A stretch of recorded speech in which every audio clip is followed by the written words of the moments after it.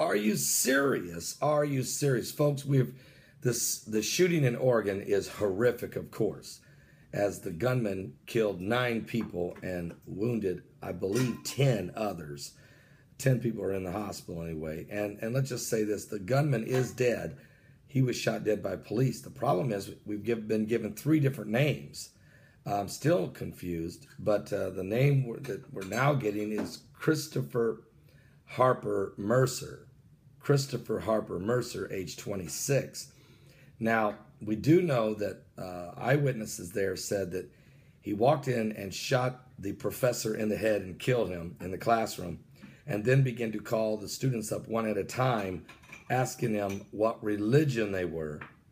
And if they said Christian, he shot them in the head. If they said any other religion or non religion, he shot him in the leg.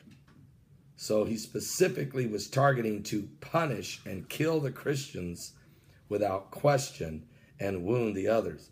This is a very, a very troubling trend in America, Christian and the world. Christians are being targeted all over the world. There's no no denying it. I mean, everybody knows it, but for some reason, the United States federal government doesn't even hardly acknowledge it, and um, uh, it's just not good. If you're a Christian or Jew, uh, it's just not good. It's coming from different directions, even, and there's uh, it's it's being ignored.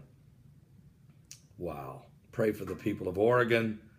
Pray for the families of the victims, and pray for the wounded. This is a horrific scene in Oregon. I'll be uh, talking to you in just a few minutes. Get you up to speed. God bless.